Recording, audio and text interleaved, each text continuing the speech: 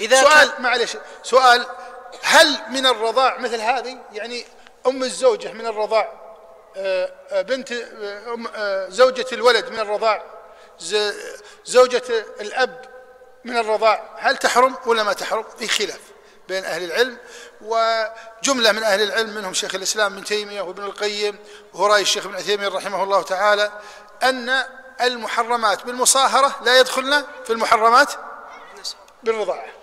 واضح ولا لا؟ لكن يختص بالنسب فقط. والرضاعة سبع أصناف من هنا وسبع أصناف من هنا. أما المصاهرة فهي خاصة بالنسب.